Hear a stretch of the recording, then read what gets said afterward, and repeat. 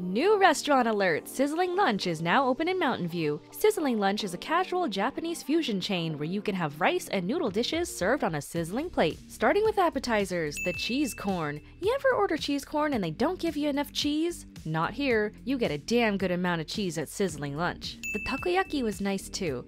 I wish that they had put more octopus in it, but overall, not bad. The shrimp tempura was awesome. I loved it. For my entree, I got the unagi rice plate, which comes with egg. The unagi was definitely my favorite part of this dish. We also got the beef udon plate. The udon was soft and nicely seasoned. The beef is also slightly seasoned, so if you want more flavor, you can add garlic shoyu or teriyaki sauce. My final thoughts on sizzling lunch. It is a bit pricey and the carb to meat ratio is quite high, but for a casual fusion restaurant, it was better than I expected, and having your meal served on a sizzling plate is a lot of fun. What would you get at sizzling lunch?